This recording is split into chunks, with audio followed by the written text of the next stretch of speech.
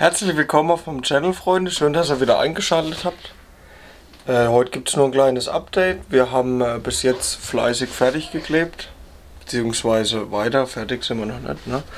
Also wir haben hier, das habt ihr schon gesehen, hinten das Eck ist fertig.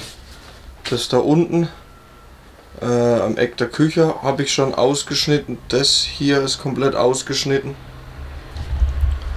Jetzt habe ich nur ein Problem mit der Wand hier gerade. Was heißt ein Problem? Ähm, von hier oben ist außen ja die Eckschiene komplett weg. Ne? Also einmal die rings außen rum von dem Eck hier hinten bis hier hinter oder bis hier runter und das Alkoven quasi. Das wackelt mir noch zu arg zum Kleben, da kann ich nichts abstützen. Ne? Also da kann ich die Platte hier nicht drücken. Äh, da werde ich jetzt mir außen wahrscheinlich heute noch, wenn es Zeit ist, äh, eine Stütze mit eine Holzstütze mit außen mit basteln, zeige ich euch dann alles, dass wir die ein bisschen fixiert kriegen. Und dann könnte ich auch dort weiterkleben, dann kriegt man die Wand vielleicht noch fertig. Ja, kleiner Moment, geht gleich weiter. So, die Post war gerade da, deswegen. Ähm, wo sind wir stehen geblieben? Genau, mit der Wand habe ich euch gesagt. Und jetzt ist uns aufgefallen noch hier unten ist, äh, das ist hinterm Radkasten, ne? Das ist, hier ist der Boden quasi und das ist dann quasi äh, äh, bündig mit dem Boden.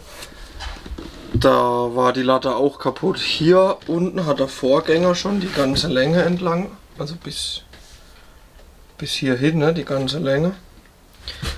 Ähm, schon eine neue Latte eingefügt. Deswegen ist mir das erst gar nicht aufgefallen, dass da was kaputt ist. Sowas kommt halt dann immer dazwischen, ne? wenn einer da mal wirklich rumfuscht und wieder alles mit Silikon reingeklebt. Den Mist kriegst du dann auch nicht raus.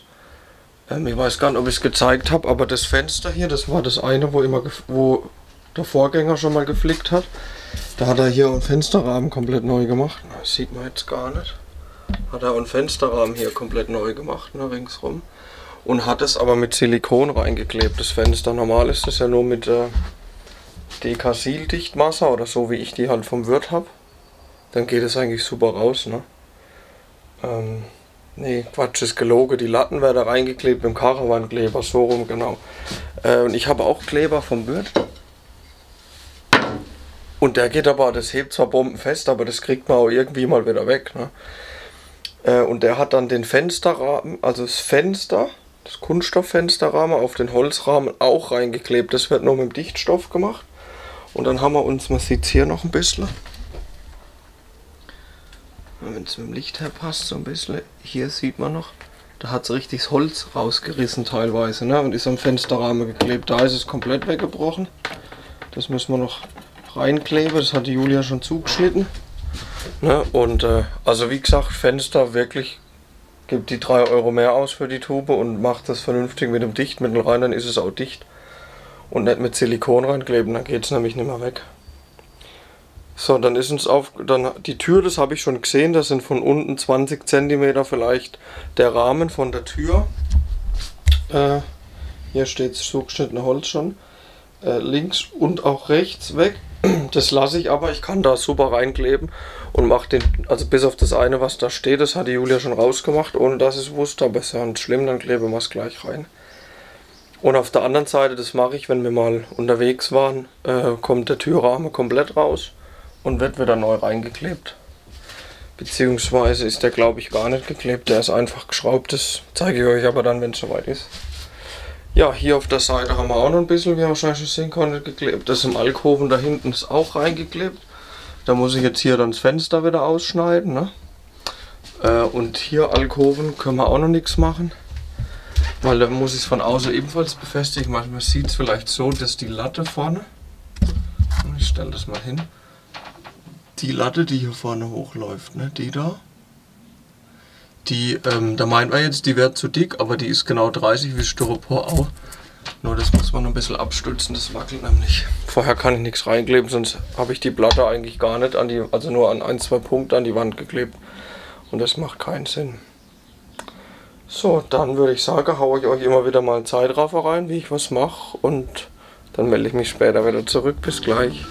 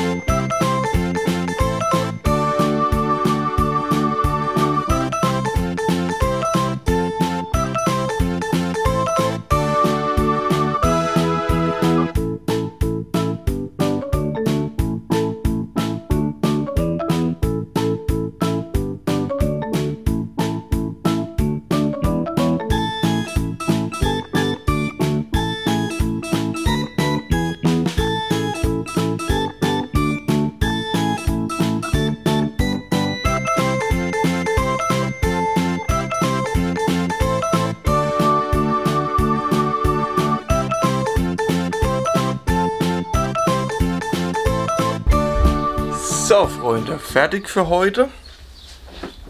Wir haben die Wand nicht fertig geklebt, die hinter mir. Aber wir haben äh, alles zugeschnitten. Alles angepasst. Ne? Also ich kann es nochmal wiederholen, diese Klammern hier.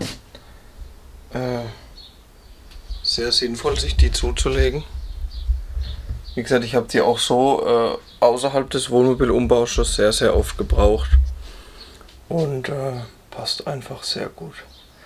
Äh, damit tue ich immer zuschneiden, ne? so wie die Platte hier oben.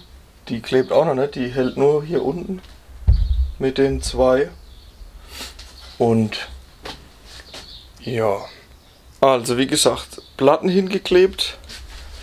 Hier unten ist alles fest. Das hier ist noch fest, also ich strebe noch dort. Da hinten kann ich auch noch nichts kleben, da fehlt noch Styropor am Eck. Äh, ich war die Woche ja mal im Baumarkt und äh, beziehungsweise muss ich kurz überlegen, ich glaube das seht ihr am nächsten Video. Äh, im, da, in dem Video vor diesem hier war wir im Baumarkt. Das war aber auch die Woche. Äh, die haben das Styropor, was ich brauche, nicht da. Jetzt schaue ich mal, ob es das in einem anderen gibt übers Wochenende oder bestelle es halt im Internet, ja. Dass man es fertig leben könnte. Das für die Decke hier, das Styropor. Das äh, liegt noch da oben.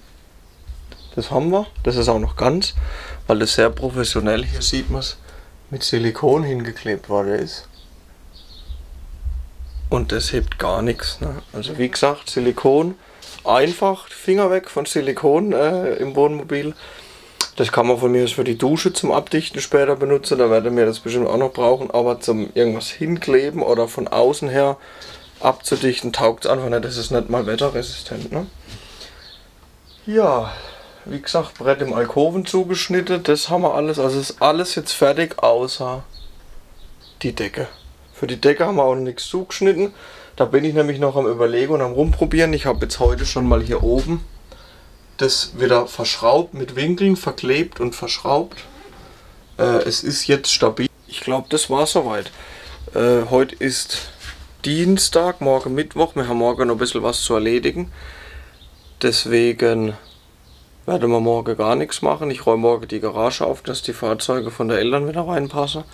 Und am Donnerstag fahren wir dann zu den Eltern von meiner Freundin. Da machen wir halt dann mal äh, ja, vier Tage Urlaub ein bisschen, weil wir hatten ja jetzt eineinhalb Wochen schon und die restliche halbe genießen wir dann so und dann können wir wieder voller Elan weitermachen. Nächste Woche.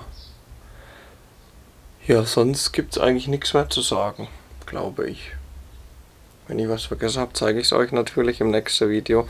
Also, vielen Dank fürs Einschalten. Cool, dass ihr wieder dabei wart. Würde mich über ein Abo freuen von euch, weil nur so wächst der Kanal und so kriegt man Reichweite. Äh, damit es auch mehrere Leute sehen, die das gebrauchen können. Ja, und dann sind wir nicht mehr allzu weit weg von unserem ersten Vlog. Also Freunde, macht's gut, viel Spaß. Ciao, ciao.